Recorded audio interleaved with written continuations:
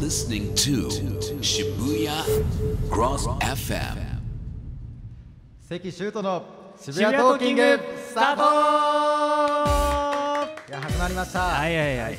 えー皆さんこんばんは。渋谷トーキングが始まりました。はい。この番組は毎月第2第4金曜日の17時より、はい。ここ渋谷クロス FM から生放送でお送りしています、はい。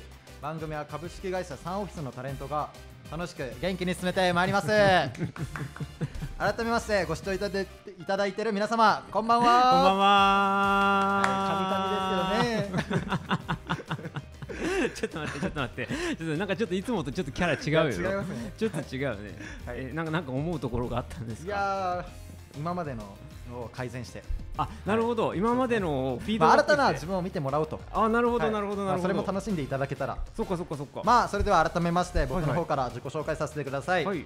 えーサンオフィス所属、えー俳優とモデル活動をさせていただいてます、えー、関修斗って言いますよろしくお願いしますお願いします。えーのぞみさんお願いしますはい、えーとサンオフィス所属俳優をやってます渡辺のぞみです。えー趣味はダイエットです。よろしくお願いいたします。ありがとう来ましたちょちょちょ待ってちょっと待ってちょっと待ってそれちょっとあの今切り替えてるとこあ今じゃそうシュート君のあのアップデートされてまますねアップデートしてますあごめんなさいごめんなさい、うん、いいいい嫌いじゃないありがとうございますはいということでねまず最初は僕たちの、うんえー近況についてお話しさせていただきますはいはいはいはい。うん。まず僕なんですね。僕、うん。最近あのやっぱシャフライランドうんうんうん。出てるっていうことで、ね。えっと自分の宣伝も含めてうんうん。TikTok の配信とかで、うんうん。もうせんあの毎回やってるのが僕の最新の最近のうんうん。近況なんですけど、うんうんうんうん。まあ、ここで、まあ、ファンの方にこういう機会ってなかなかないので、うんうんうん。ファンの方にサービスでもああいういじゃん。ね。この場をお借りして、はいはまい、はいはい。見てるか俺の織姫ども。見ろよちゃんと、はい俺の織ちょ姫に？ちょちょ待ってマイク外れてるマイク外れてる。俺の織姫に？セクシーサンキュー。そしてねいつもその枠であのー、俺のね枠をまとめてくれる、えー、チュン。見てるか？配信。ね。チュンに届け。チュンのハートに。ズッキュン。まあこういうね。はい。こういうキャラなんですよ 僕。はい。ズッキュンズッキュンズッキュンズッキュン。チュンズッキュン。まあこんな感じ。はい。はいはいはい。こうやってねあのー、こういうよくわかんない僕キャラなんですよね。はい。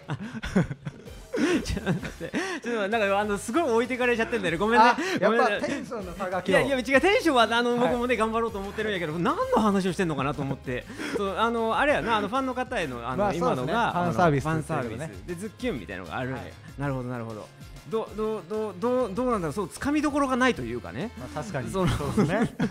ちょっとびっくりしちゃった感が強くて。あーでもちょちょなんかもう一回もう一回なんか、はい。もう一回ちょっと全力でやってもらって僕がそしたらなんかいやーかっこいいとか言うから、それでなんか成立するんじゃないかな。まずね見てるか、俺の織姫ども。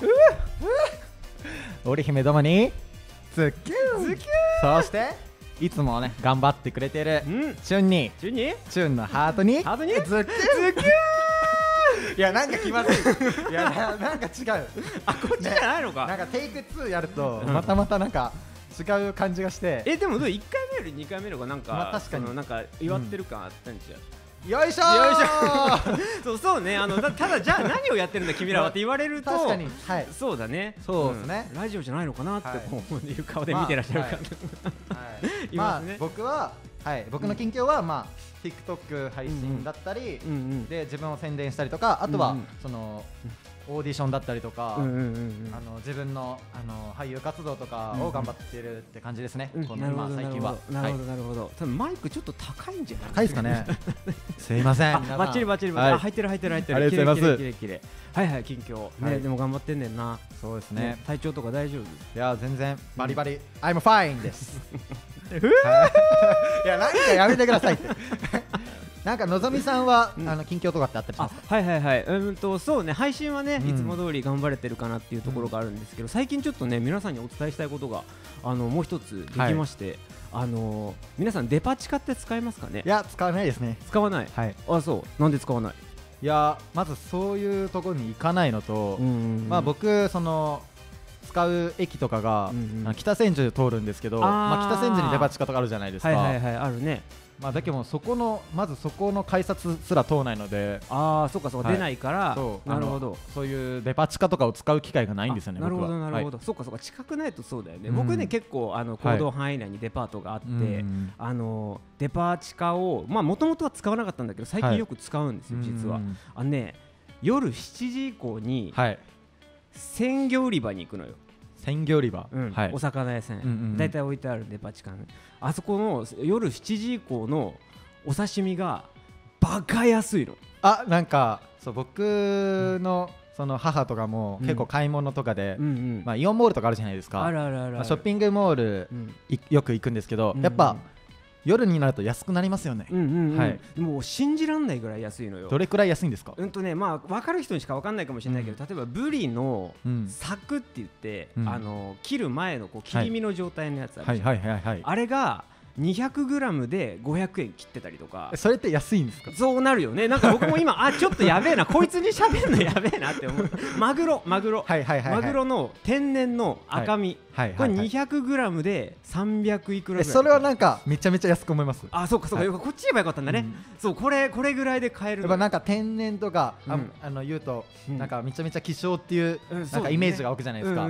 だからそれで 200g で300円って聞くと、うんうんうんうわ安いかもって思いますね。300いくら、まあ、うん。400近くだったら300円台で買えることに気づきまして最近もうし、あの休みの日はもう7時まではご飯食べないで、うん。で夜あの7時を超えたタイミングでデパ地下に突入して、美味しいお刺身を買ってで500円ぐらいでうん。贅沢な晩ご飯を食べるっていうのがいや海鮮丼とか。海鮮丼もいや全然。至福ですね。でたくさんあるから その、あえてカルパッチョ作っちゃったりとか、ええそのお刺身以外の作り方で食べるっていいうね、や結構その食べきれない分はラップ引いて、うん。うんうんまた次の日とか食べたりもできますもんね。ねそれやりたいんだけどさ、僕バカだからさ あのやっぱあると食っちゃうんだよね。確かに間違いない。お金と一緒ですね。あのあると使っちゃうみたいな。マグロとお金一緒にしたか今急に。はい。はいまあねここら辺ではいはい。まずはねああのほんそうですはい。うん。お時間もなのでうん。ということでね本日の1曲あのー一曲目をはい。お送りさせていただきます。はい。曲はジェイドで君だけのコリド「無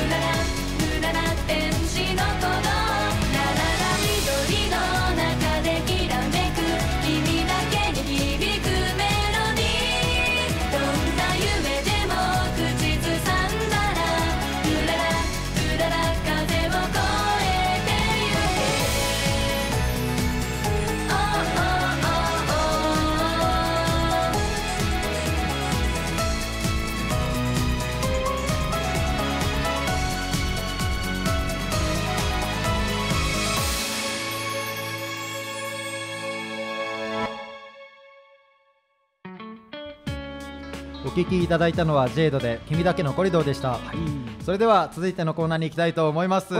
続いてのコーナーは無茶ぶりフリートーク。よいしょ。はい。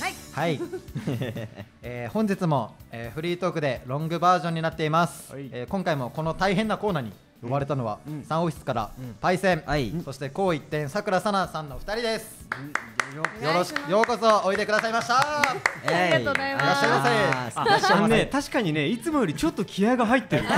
そうね。ね心を入れ替えました、何がゼロにあるのかな。してまた、口だけちょっとついてきてないよね。間違いないです。ねそうですね。いいいいいい。はい。行きましょう。ではねまず2人の方から自己紹介の方よろしくお願いしますはい、はい。えっと TikTok で配信そして役者活動をしております、えー、パイセンこと水谷翔馬と申します。よろしくお願いします。お願いします。お願いします。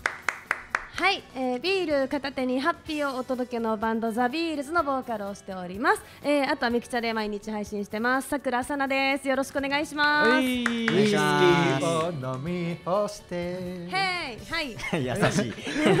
ありがとうございます。はい、フリートークとはいえね、あのいくつかのテーマに、えー提示あの提示されているので、それに沿って番組進行はさせていただきたいと思っています。うんはいえそれではまず、えーパイセンあのサナさんから、えー近況の報告をさせてあのもらいましょう。はい、日本語おかしいね。じゃあパイセンどうぞ。はいあ俺からねえーそうね近況報告っつってもね2週間前も話してて、だね。なかなかあれなんだけどさ、うん。今日25日じゃん、うん。俺今日給料日だったのあそっか。へあの俺す普段塾の先生してて、うんうんうんそれで国語教えてんだけど、うんうん。あの中学受験向けのね、うんうんうんで今までずっと4年生教えてたの。うんうんうん。で今年から56年生教えるようになって。あーなるほど。そうそうそう、うんうん。で56年生にもなるとさ、マジで大人も時があるぐらいの問題が結構あるの、あーなるほど。だから塾の先生って予習がある分その時間外労働じゃないけどさ、うん。ある分時給が高いんだけど、うんうんうんうん。そのもう予習してんのめちゃめちゃおもろくて、うーんなるほど。でなんか小学校のさ、うん。思い出すとさ授業って結構ハッピーエンドが多かったじゃない、まあまあそうね。確かにね。あってうん。もなんかちょっと戦争関係でさ、あのなんだっけちいちゃんの影送りとかは。いはいはいはいあもうドロドロの人間関係とか出てくるんですよ。あ小学生知らない方が幸せだろみたいな。そうだね。確小学生でそんな攻めてるの？もう家族間構成も独特だったり、すごいいろんな感情をそうこうなんか何視点からも読み取らないと満点取れない問題があったりあして、あなるほどなるほど。なんか俺自身もすごい勉強になってやっぱ今す、うん時代とともに進化してるんだね。現代文。まあ時代。うんまあまあ中学受験のレベルの高さなんだろそうだね。えそうだそのさパイセンの学生時代の頃と今の問題はやっぱ傾向が違うなって思うことはあるの？うーん俺中学受験の塾で教えてるけど、まあ、一応中学受験したんだけどさ、うん。もうだいぶレベルが違うんですよ。難関校向けの塾なの、あなるほどうん狙そうもそも時代は違違って、うんうん。そうだかただね過去問とか見るとずっと難しいけど、うんうん。やっぱこうトップレベルの猛者たちが来るわけじゃない？そうだね。ん確かに。だから、まあ、ここまでやらないとみんな満点取れちゃうんだろうなっていう感じうんで。そっかそっかそっか。今ね勉強だって効率化になってきてるから点を取りやすくなってきてるのか。そうだからめちゃめちゃ難しいなとは。大人が解いても俺俺の感覚だけど、うんうんうんセンター試験満点取るより難関男子校とかの国語満点取る方が俺は難しい、あそんなになんだ。へまあ、問題傾向の独特さとかはあるけどあねーなるほどね、まあ、上層的上層教育的な部分も含まれてるだろうからね、うん。あると思うああなるほど。それ面白いわ、うんうんそんな感じでございます。なるほどね。あーちょっとな聞いてて楽しかった、よかった、うんうんうん。さすが。うんシュートがずっとさもうすげえなんか目が点な感じでさ見つめてくるからさ。シュート絶対興味ない。そう。ちょっと不安になる。ん えで興味あるよ。意外と。あれどうだった、はい今の話。いやあのレベルしアップしてんだなって。自分が言ったこともう一回言っただけだよ。今 いやでもあのそのなんていうんですか？あのやっぱあの、うん。個性が学校によって個性があって、うんうんうん。やっぱあの今の若い子たちすごいなと思いました。なるほど、うん、よくまとめた。小学生レベルの知恵ですけど。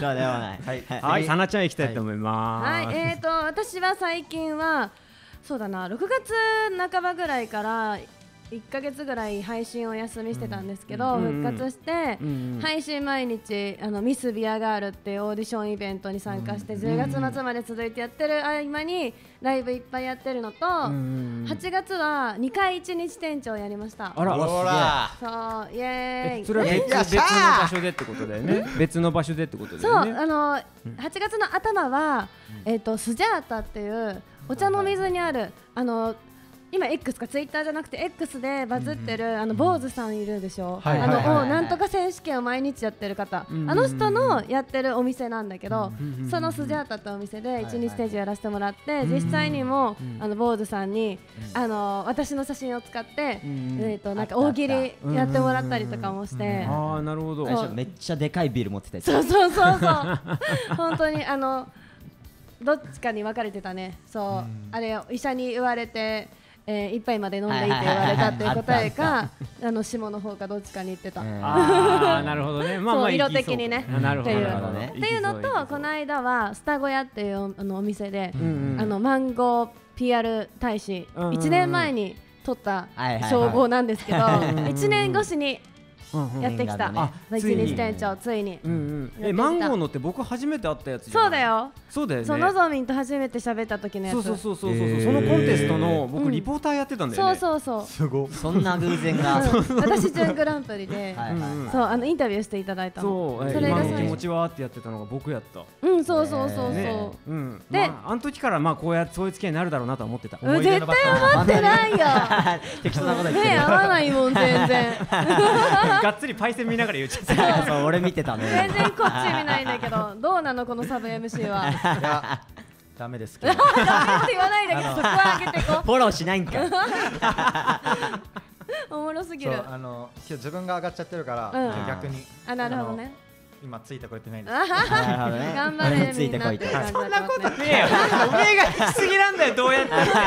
全員分かってるわそんなの。ま あそんな感じ申し訳ありでません ドライブとはい。配信と一日店長をやってる、今日この頃です。でラジオ久々です。いいっすね。そうだね、うん。本当に久しぶりにね、共演できて嬉しい、うん、私も、ね。みんな元気そうで SNS で見てるけど。あそうあ確かにね。で名古屋でライブ行った時にアドトラを見た。イエーイ。番組のやつ。はいそう。はいはいシャフライランドの。そう。シャフライランド写写真撮ろうと思ったんだけど、ん。あのうちの車が速すぎてああいうのってさ宣伝だからゆっくり通るかにそうですよね。あー撮れない終わっちゃった。あれあれだね。ひ引き返してくださいそういう時は。無理だよ。しかも名古屋何車線もあるから。そうね。あっちの方行ってると右とか無理だし右折とかできないし、うんうんはっていう感じ。ーい。はいありがとうございます。はいそんな感じです。えーそろそろはいですがこの辺りでもう一曲お送りしたいと思います。僕たちと同じ事務所のアイドルグループサニーの曲です。今度の日曜日にジェイドと一緒に神田明神江戸っ子祭り対バンライブに出演するそうでおここでサニーとジェイドのライブスケジュールを画像で見せていただけるとのことです。はい。こちら。ねえっ結と、ね。ライブスケジュールを見ていただいてますわすごい量だね。えこれって一緒に出るやつ全部？ってこと？そういうことこの字を見る限りそうですね。あねそうみたい。めちゃめちゃ出るっすね。すごい、すごい。なるほどすごいね、へー僕なんかはジェイドの方にあの先生してもらってダンスをやってますけど、はいはい本当にはいはいはいうん本当に激しいから、うん。ねあの体力的に本当に大変だろうなと思うけど頑張ってるんだなっていうふうにほぼほぼ土日はライブが決まってるっていう感じですね。毎週。人気者だね。すごいね。ね全部は言えないですけど8月27、9月2、9月3、9月10、9月23、9月24、9月30、10月1日と。ね。めちゃ。めちゃ頑張ってるっていうことなので。ねねそうだね。乗乗っっててんんねね。えー皆様ぜひライブにもお出かけください。それではサニーの新しい始まりの曲です、えー曲名はファーストウィンド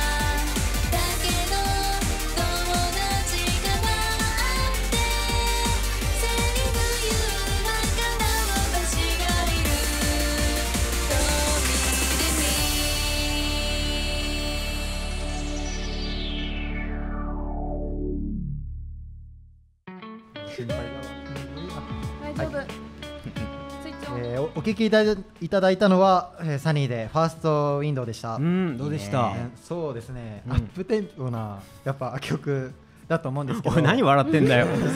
笑う要素なかったよちゃんと聞いてたじゃん。アップテンポの曲だと思うんですけど、うんうん。なんかあの元気になるっていうか、うんうん。あの自分で結構なんか挑戦とか結構なんかやること多いんですけど、うんうんうん。うんなんか背中を押してもらえる曲っていうか。あなるほどあそうねそうね。そうですね、うん。なんか何かを次何かを頑張ろうみたいな、うん。その背中うんあの背中を押してくれるような曲だと思いました、うん。そうですね。はい。うん。よかった。ドヤドヤ顔皆さん見えてるかわからないけど めっちゃドヤ顔めっちゃドヤしてます顔やったね。全員見たね。皆さんねそのサニーメンバーである、うん。えージェイドからねあの期間限定で移動してるね、うん。高原つぐみさんと、うん。その13歳でねあの、うん。アイドルしてるさくらななみさんと、はいはい。えー前回出演のあの、21歳の真中レイさんがね、うんサニー3人グループでやってるので、うんぜひとも3人のサニーグループのね応援もよろしくお願いします、うん。はいはいお願いします。えー続きましてはい。無茶ぶりフリートーク続きます。マスマスカット。よいしょー。やっと言えたねずっと言いたかったんだもんね。あの曲が鳴ってる間のトークは聞こえないと思うんですけどずっとマスカットって言いたいってそう。やめてください。言い忘れたって2回ぐらい言ってた。よねやめてください。次こそはって言ってここそうそうそう3度目の正直はい。まあということで、はい。てトークテーマに参りたいと思います。はい。今年のね夏の思い出をまずはお話しいただこうかなと思っています。夏の思い出。なるほどはいですね。もうぼちぼちね夏も終わるね。そうですね、うん。まだまだ暑いけども。ね。じゃあ早速、えー、まなちゃんからよろしくお願いします。お私からでいいかな？うん。さなちゃん。そう誰かなって思ったわ。まなちゃんって誰と思った。ごめん。さなちゃんからよろしくお願いします。はい大丈夫。はいはい。えっとそうだな。ライブ毎日やってて今週末も飛騨高山にライブしに行くんですけど、うん。ライブ見に行くもやって、うん。あのねフジロック3日間行ってきた。あら。いいな。そうちゃんとねテント立ててうん。泊まってきたんだけどもうめちゃ日焼けがひどくて大変だった。もうねうん。一皮むけたよすでに。物理的にね。そう 物理的に。行ったのは初めてなの？そう初めてだったあのそうなの？えで慣れてる人たちと行ったからうんうんうん。もうすごいね楽しかった。うん。やっぱなんか回るのにもコツがいったりするじゃないそうそう。でなんかでも運が良かったっぽくてうん。あそこ食べ物屋さん？いっぱい出てるんだけどん。だいたい1時間とか待つの。あいやそそれきついな。でさうん。さお目当て行きたいのに並ばないといけないけど食べないと倒れちゃうみたいな感じじゃん。だったんだけどもうね最長10分だったの。あすごいすごい運が良くて。ねいい感じに食べてあの見たいものを見れて楽しい夏の思い出になった。わ素晴らしい。なんかそういうストレスがかからずに済んだってうん。いいよねそうめっちゃいい思い出だっあたそれは楽しいフジロックだわ。楽しみました。あフジロックって山梨ですか？フジロックは。新潟だね。新潟ごめんなさい。はい。ただあのよく聞いてくれたって思った。そう苗場あの。の富士急アイランドと。あそっか混じったね。富士違いだね。はい。わかるよ。優しい。いやー優しすぎる。なるほどはい。はい行けますか？ロックフェスとか行ったことありますか？ロックフェスとかうん。行ったことないですよね。うん。僕もないんだよね。ないんですね。そっかそっか。えめちゃくちゃ面白いしうん。で会えるわけないって思ってたんだけどメンバーのうちのギターの人も言っててうん。あの待ち合わせしてないのに会えたの？目の前にいて。すごいわすごい偶然。みたいな。これ相当難しいよね。あんな人混みで。そう、うん。ってなって叫んだ。それ以降会えなかったけどね。あまあ一回やればね十分ですよね。うん。そんなサプライズも。あいい夏だったね。ううん。ん。うん。うん。いいうんねはいありがとうございました。ありがとうございます。はい次行ってみましょうか。しょうまくん。はい、しょうまくん、おそんな呼び方してごめんなさいいやいやいやいや、しょうまでいいです。はい、仲良くしてください。はい。あ俺ね、それこそ前回のは、あのーライブ、ライブじゃねえや、ラジオで話したんだけどさ、ん手術してさ、術後1ヶ月安静だったの。はいはい仕事とかは出てたけど、んあの5日前まで安静だったのよ。だから一切遊んでないの。うんそうなの？あの家の天井ぐらいしか思い出ないんだけどさ、ずっと寝てたから。なるほどまあでもずっと部屋で寝てるのも飽きるじゃん。そうだねリビングとかで寝たりするんだけどさ、うん俺んちチワ2匹いんの？チワワ。でチワワからすればなんかこいつ最近ずっと言えるぞってなるじゃん、うんうんであのチワワたちの俺の認知は、うん。あの生温かいベッドなの。やばい上乗ってくんだ。なるほどなでで犬もさずっと寝てるとだんだんより良い、ね、ポジションを探すわけですよ、あはいはいはい。で最終的にどうなったかっていうと、うん。あの俺の腹をめっちゃ引っかくの、えで何がしたいかっていうと、ん。服の中入ってんねんの。ー、えー、あでも服の中入るとあったかいけど寝苦しいじゃん、うんだんだん上がってきて、うん。あの俺の首のところからね、あの鼻出てんの。でさ俺は俺で寝にくいわけよ首に乗っかられたら、そうだよね。でも可愛いじゃん。確かに。うん。なるほどなるほど。しかも動けないじゃん、苦しいし寝にくいのにひたすら寝続けて、まあ犬にちょっとはなんか存在意義を認めてもらえたかなっていうそんな夏でした、ほっこりする話だね。ね。はいそうそう。そう、まあ確かに確かに。僕犬嫌いじゃないんだけど、はいはいはい。あのおとなしい犬が好きやから、うん。なんか今の話を聞いてうわーってなっちゃった。えゾワゾワしちゃっうん。なんかどげやってなって。でもおとなしいよ。寝てるだけだから。寝てる時、うん。ここにおんねやろ。こう首のとこにおんねここでいびきかいてんの。うんでしょ？でおじいちゃんだから起きねえの。ああなるほどね。なるほど。おじいちゃんだとしてもどけやって僕は思っち 辛辣だな。ゃうなっちゃうな。なるほど犬好きからしたらやっぱこうほっこりする話、たまらん。確かに。ねうん。羨ましいなと思ったあそう。もう幸せ。あお犬様のベッドになれて本望です本当に。はい。あじゃあまああのたまたま家にいた時間だけど犬そう犬そうそと親睦う親睦をを深める夏休みでした。あーなるほどね。まあそれはそれでね素敵な時間やったんかな、ううん。んそんな感じでございます。なるほど、はい。二人はどうなの？あありがとうございます。僕の夏の思い出まあちょっと大きいやつがなかったからいろいろ考えたんだけど、うんはいはいはい。今年デビューしたものが一個あって。何？日傘？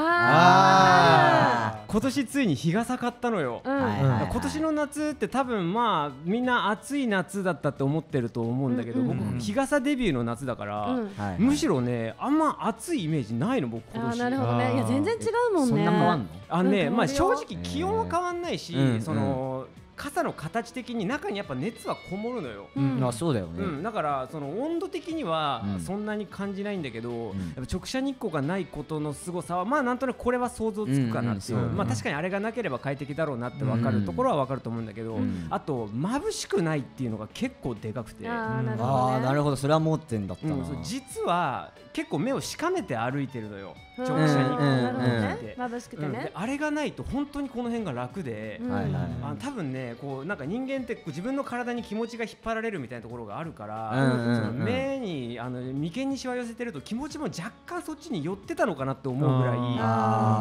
日傘で目が楽になると本当に気持ち的にすごい歩いてるのが楽、うへん。ー。うん、でも本当ね楽だよね日傘。うんうん。うん。あとね日傘を差してない人に比べて優越感を得られる。なるほどね。お前が浴びてる苦行は俺はないけどなっていう気持ちで歩くのがなんかねだから今日今年はね結構散歩したりとか、うんうんあアクティブな、うん、動き方をしてたかなっていうじ。ゃあ俺も日傘デビューしようかな。日傘はねおすすめ、うんめっちゃいいよ。日傘ちょっとまだ恥ずかしくない。なんかうんうんうん。女性のイメージ強くてうん別に他の男性が差してて何も思わんけどん。自分が差すとなるとなんかちょっと気恥ずかしさみたいな。それはわかる。なん気取ってんなあいつみたいな目で見られないかなみたいな。うんでも刺したらそんなの吹き飛ぶぐらい気持ちいい、あマジか。デビュでも本ーしようかな。当ここ数年はもう全然メンズも持ってて変じゃないし、そうねうん。特にあの持ってないよ多分、いや快適さを取った方がいいと思う、ただ単に気にしすぎなんだなるほどね。周りの目気になっちいゃうでもねあのパイセンのはわかる、ん。わかる。僕も去年までそれで刺さなかった。なるほどね、うん。あ今年デビューしてみてよかったないいと思う。ぜひぜひ。うん、これはおすすめデビューしようね一緒に。一緒にね。一緒にかい。今週は優しいな。前回めっちゃ当たり強かった。やめて。そう優しいだろ。うん。この1週間優しいだろ。2週間何があったんでしょうね。うん。うん。ちょっとじゃあそんな中毒にそうですね。僕はまあ今年の夏の思い出昨日なんですけどはい昨日？僕昨日あのーシャッフルアイランド、うん。同じく出てる、うん。そのプロボクサーの、うん。よし吉光くんって子がいるんですけど、うんうんその子のボクシングのプロボクシングの試合見に行ってきたんですよ、え楽しそう。はい。そのシャッフルアイランドのメンバー男子メンバーと行ってきたんですけど、うんうん。もうなんか試合もやっぱ人いるわけですよ、はいはい。めちゃめちゃ熱狂してて、うん。しかもメインの試合なんですよ。一番鳥で。あうんその子が。なるほどなるほど、えで行って応援するじゃないですか、うん。はいはい。見事5ラウンド KO お素晴らしい。最高なものを見せてもらって、うん。しかもあのぶん殴って、うん。あの倒した時に、ん。あのめっちゃガッツポーズして、うん。自分たちの前でもう手を挙げてくれたんですよ。いやもうなんかそういうのやっぱその同じく番組に出てる子がやっぱ頑張ってる姿とか、ん。そういうまた違った一面を見ると、まあなんかこっちも頑張らなくちゃなって思うのと、ん。やっぱり本当になんていうんですかもうただただ叫ぶしかないっていうか、うわーうん。はい。でもその勝った時のガッツポーズをやってくれたって聞いて結構なんか鳥肌立ったもんねえうわ嬉しいよねかっこいいなと思って。えもう吠え吠えたんですよ、うんはいはい。はい。自分たちの前で。どんな感じだったの？はい。今のすごい。が悪いねまあ迫力あったのは伝わってきた。はい。すごいですよね。うんうんうん。でも本当に楽しかったんだろう。なかなかない思い出だね。なかなボクシングの試合を見に行く自体初めてだったので、うん。まあなんか新鮮だったっていうか、うん。あのあこうあのあの場の雰囲気を味わえてよかったなって思いました。うん。僕は、はい。そうだね。よかったんだろうなって伝わってきたわ。いいな。ありがとうございあいいいいエピソードでした。ねよかった昨日で。本当ですね。明日じゃなくてよかった。そうそうねなんかホットなね感情を持ってきてもらはいえてうん。そういうよかったなって。熱狂がそのまま伝わってくる感じね。そうですね。よかったよかった。さあ次行ってみますか。行きましょう。はい。はい。次なんですか？えこれだけは絶対に人には負けないことをね。あお話しいただこうかなって。これはじゃあシュート君からでいいですか？そうですね。お僕これだけは絶対に負けないこと。絶対ねあの人よりあうん。の笑顔だけは負けません。あ 出た子犬。あうん。ただ今まで確かに何回か笑顔で許したことあるな わかる。なんかただ可愛いだけじゃなくて許したくなっちゃうんよね。うん。なんかなんだろうね。そのなんか伝えようとする気持ちは強いよね。笑顔のやっぱ笑顔だったりとか、うん。あのやっぱファンサービス僕負けないです。おファンさなるほど。うわうわうわ。見えてないんだけどな ラジオな。さっきの観覧の方でねあの海外の方が撮ってる時のファンサすごかったね。すごかったね。ね本当に。通った方とかにも俺普通にやっちゃうんです。うんうん。いいと思います。そうですね。それだけはやっぱ自分は負けないです。なるほど。見習いたい。見てるかチューン。中3推し強い。やばい。織姫ども見てるか。いいまあこんな感じで。はい。どうなのファンファンサパイセンとかファンサ俺ね気恥ずかしいタイプなんだよね。あそう。だからさ俺、まあ、何を隠そう恋人もいたことないの。で配信でも楽しんでくれてる人はいるけど、うん。別にそのなんていうのかな、うん。その愛してるよを求めてる人はいないわけよ。だあから俺がさシュートみたいに愛してるよチューとかやったらキャーって言われるの違う意味で。ー あーなるほどなちょちょちょっときついわみたいな。ちょっと濁点がついてるやつね。そうそうそうそう悲鳴のやつね。そうもあるし俺自身もやっぱそういう経験がないから恥ずかしくでなっちゃう、もファンサって別にキャーキャー言ってもらうだけじゃないじゃん、うんそうだあまあそうね。ね。はい。ね、仲良くすることとかいろいろあるから、ね、パイセンなりのファンサずっとやってんのかなとはうん。思うけど。コメントに寄り添うとかそういうなんだろうな人としての付き合いはうんうん配信内においてね強いと思うんだけど。うんうんあーなるほどね。表だったファンさがちょっと気恥ずかしい。日本人のなるほどね。真似してみたらいいんじゃない？うんうんファン減る。わかんないけど。いやなんかそのまた違ったギャップでやっぱついてくるあと新たなね。そのファン層がついてくるかもしれない。あ確かにね。まあ新たなパイセンを普段は見れないじゃん。はいはいはいはい。だから新たなパイセンを見てやっぱ好きになってくれる人がいるかも。だからもうやってみる価値はある。明日からリスナーさん全員に大好きだよって言っとくわ。わー。それもそれで違うな、うん。言っとくわはよくないな。大好きの安売りやそれは あちょっと勉強します週はい。まあ配信見て、いろいろね。うん。のぞみさんは何かあったりしますか？僕はね一個あるんですよ。なんだろオムライス作りは絶対に負けうない、え作って。食べたい。食べたい。お好き、はい一番好きです。うん、オムライス作りは僕オムライスだけは僕料理そこまでしないけど、うん。はい。うん。まあできなくはないんだけど、うん。オムライスだけは好きで、はい。あのなんで作るかっていうとお店の味じゃ物足んないから作るようになったのよ。なるお店ほどね。よりクオリティだ高いんだ。から超えるまで練習して。あの作るようになって。味は何なの？そしたら。え僕はケチャップがもうダダントツで好きだかあら、ー。うん、あの安いケチャップで作れる一番美味しいオムライス、へでもえ店超えました？うん、あの安いケチャップなのに1000円払ってくれると思う。ええ気になる。みんなで食べ行こう食べ行きましょう。全ね然もうこれは負けない。ただちょっと広げなくていいんですけどこれだけはちょっとね自慢として伝えておきたかった、い。つかどっかでね皆さんにお見せしたいとぜひぜひ。お願いします。ありがとうございます。のぞみパイセンはオフ会とかあったりします？俺ねこれ考えたのよ台本送られてきてからすげえ考えたんだけど、うん。うんなかなか思いつかないんだよね、まあね。えー確かに。でまあ結構真面目に考えた結果さ就活みたいなことを言うんだけどさ、就活の面接みたいなね、うんうん。まあなんか一回やるって決めたことはやり通すっていうその根性みたいなところは負けないかな。あー素晴らしい。なるほどなるほど。諦めないとかそういうことなのかな。そうそうそう、うん。でまあいろいろバレエとか、まあ、配信とかいろいろやってきたんだけど今で言うと、俺今大学生大学4年生なんだけど、うんうんうんうん大学の目標が首席卒業と、あとその卒論を、まあ、学科で今までいろいろ出てるけど、過去最高作を作るっていう2つがああって。あなるほど。大きいね。まあもう首席卒業はまあかまあ、もう決まった感じなの、えぐい。実は。すがすぎるすごいすごいすごい。超えられることはないだろうみたいな、俺がよっぽど変なことしなければね、でただその難しいのって成績ってまあ簡単な話100点取れば絶対いいじゃない、うん。なんだけど卒論ってゴールがなくてさ、あー確かに。いくら資料読み漁ってもいくら当事者と会っても、うんうんなんか完成形が見えなくて、うん。でもまあ俺はもう過去最高のを作るっていうのはぶれたくないから、ん。もう暇さえあれば勉強してるね、すごい。すごい思ったよりすごいんだねパイセンってね。実はねバカっぽく見えるけど勉強できんのよ。あちょっと見直しちゃった。やった見直されちゃった。かっこいいかっこいい。めちゃめちゃかっこいい。あなるほど。ありがとうございます。諦めないすごいね。あ頑張ります。説得力もあったわ。ありがとうございます。いい話だった。あじゃあさなちゃんいきますかいや私はねもうぶれないね。もう B 以来は誰にも負けないっていうところ そうね。そのイメージは。そう。確かに。でそれと音楽をくっつけるのも負けないですっていうところだなねるほどなんであのそれを今あのちゃんとまた一つの形にするべく、うん。それのために配信もやってるっていう感じだから、なるほどなるほど。じゃあそうそう。そう一つすべてビールにつながってるそうんだね。すべての道はビールに続いてるんだよ。ローマの道みたいなあれ あれ？ビールは源ビールは源。ああそうねはい。そんな感じだねそんな感じですようん。はい。もうそんな感じだから、あのー私の生きてる道は大体そういう風にしっかりできてるから、まあ寄り道もいっぱいするけどね、うん。いいと思う。そうそう。それのところは負けないかなっていう感じ、常に考えてる、ばうんバッチリ締めていただきうん。ましたありがとうございます。素晴らしいね。とんでもない。ひひとか言っちゃった、はい、それではそろそろお時間です。はい。はい、はい。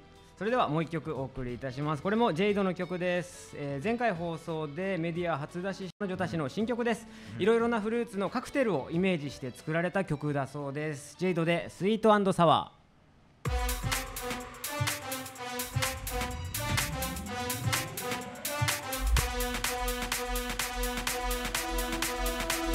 れ晴れエビデイずっと探してた彩る世界でフォローミーダンスフォローミーチャンスおはようでベタなステップと甘酸っぱいカメリ出しちゃったんだ吐いた声が愛を奏でるあなたとエビダンずっと交わしてた。夢見る世界でフォローミーダンスフォローミーチャンス。さよならのビタのスイーツは風香るラズベリー。嫌になっちゃった時だクリームが淡く焦がれた。それは素敵な恋愛模様で Do you think この瞬間 Do you know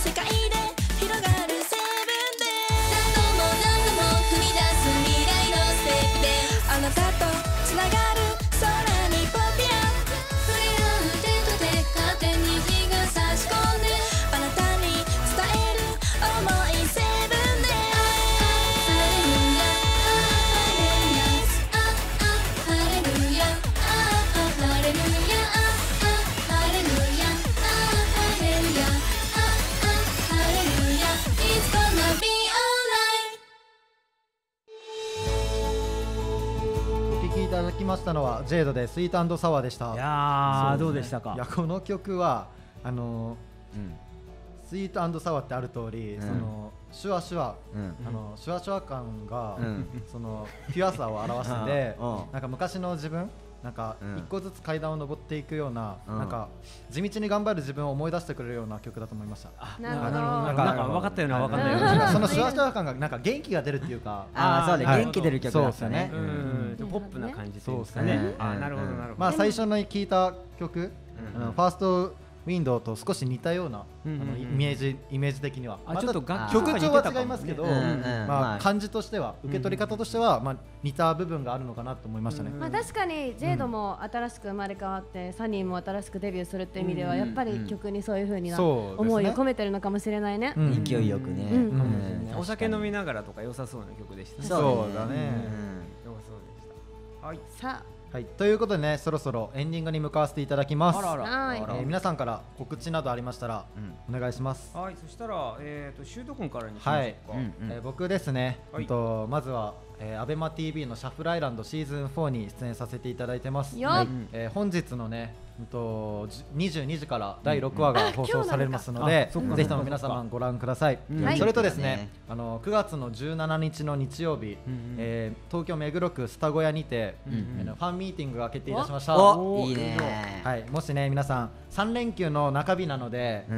うんぜひとも皆さん予定開けといてください。各です。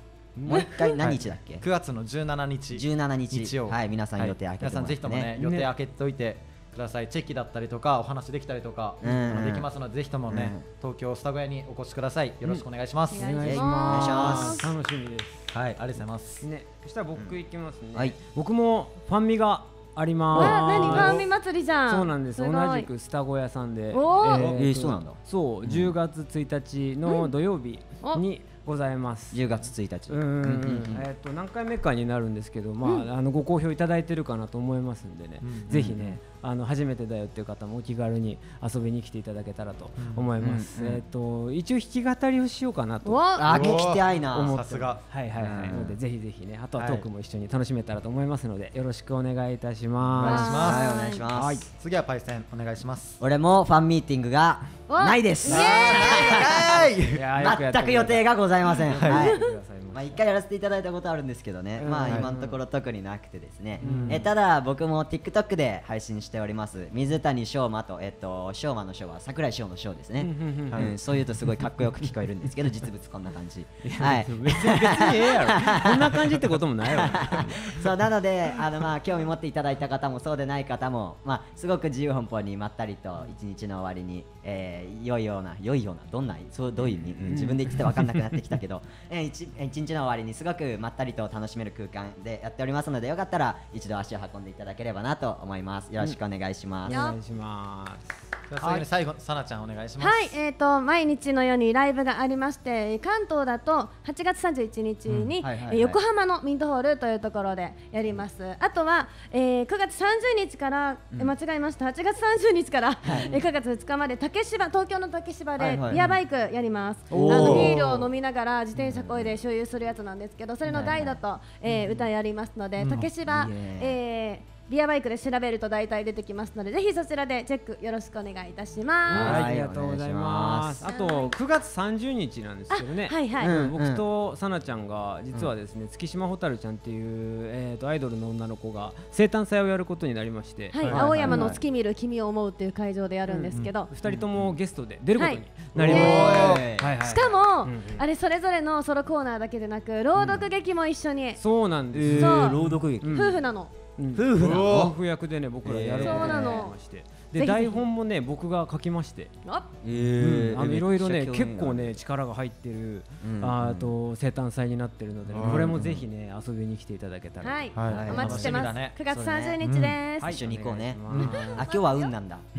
前回全部振られたから。はい。本日の放送はこれまでとなります。皆さん今日は楽しんでいただけましたでしょうか、イエイえー次回放送は再来週ではなくなんなく。来週なんと31日木曜日17時から特番を放送させていただくことになりましたよいしょ。ー特番来ました。木曜日です。お忘れなく木曜日ねはい。えーサンオフィスからまた数名出演させていただきます、はい。出演者は間もなく週明けによ週明けに、えー公式 X より発表させていただきます。いつもとは違う曜日ですがぜひ楽しみにお待ちください。とはーい。いやはい楽はいしみですね。でも番組も最後です。はい。次回放送も楽しく進めてまいります。はい。え次回はここにいる誰かの生演奏歌唱があるとかない誰？誰？誰？誰？誰？誰？誰？えー。ここの人たちマジで知らない。詳しくは公式 X でお便りや、えー、観覧もお待ちしております、はい。はい。えー皆さん楽しみにしていてください。来てください、はい。そして本日の当番 MC は、えー、関修斗、うん。そしてサブ MC は渡辺望。美、はいそしてそしてゲストはパイセンとはい。さくらさなでした、それではまた皆さんお会いしましょう。せーの。バイバーイ